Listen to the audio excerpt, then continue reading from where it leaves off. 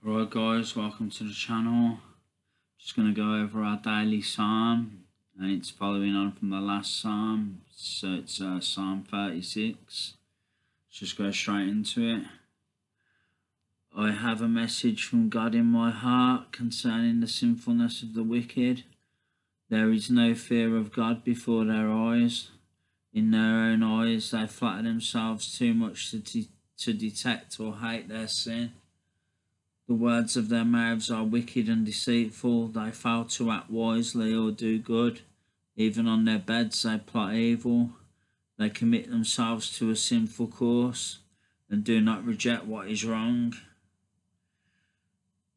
You, your love, Lord, reaches to the heavens, your faithfulness to the skies, your righteousness is like the highest mountains, your justice like the great deep.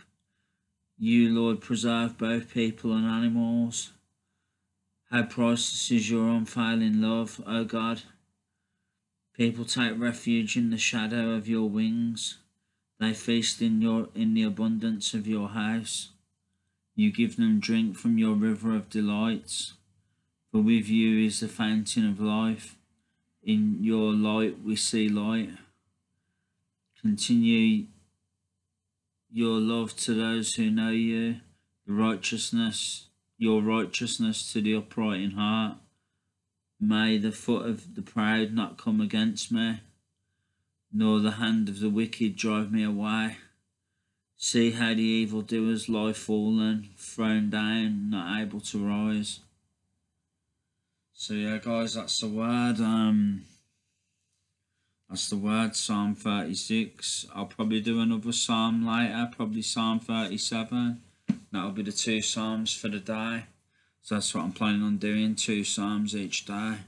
So yeah, guys, thanks for watching as always. Um, appreciate every single one of you. Um,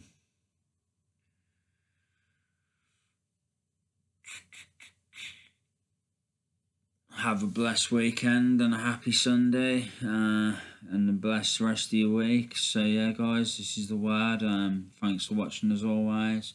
Much love. Take care and I'll be back soon. Take care. Bye.